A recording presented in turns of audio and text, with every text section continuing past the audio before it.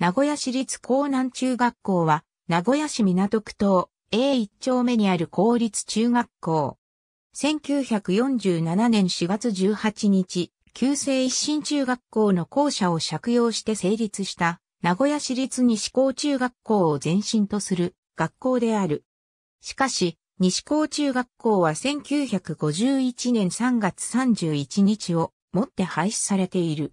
これは生徒数が多かったための措置であり、翌日付で名古屋市立江南中学校が発足している。旧西高中の学区のうち、おおむねなし国道以南を引き取ったという。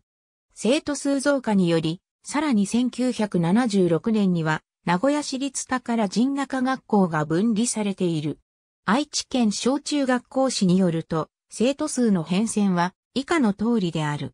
一年時には、校外学習として、港に行こうと題して、学区の近くに所在する名古屋港の見学を行ったり、名古屋を知ろうと題して、判別で市内分散学習を行ったりしている。また、入学後の初の学年行事として、校歌コンクールを実施しているという。2年時の校外学習は、名古屋市全市の中学校2年生に共通する、稲部屋外学習のほか、地域に所在する店舗、幼稚園、病院などにおいて、職場体験学習も行っている。3年時の修学旅行については、毎年東京方面を訪れているという。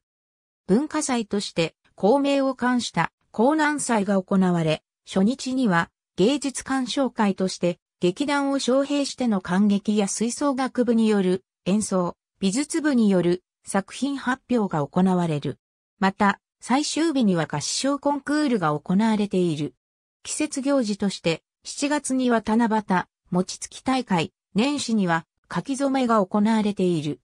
部活動としては、野球部、サッカー部、ハンドボール部、ラグビー部、バスケ部、ソフトテニス部、水泳部、陸上部、剣道部、吹奏楽部、美術部の11部がそれぞれ活動を行っている。所管する名古屋市教育委員会は、2018年9月1日現在、名古屋市立大手小学校、名古屋市立東映小学校、名古屋市立の後小学校の各学区を通学区域として指定している。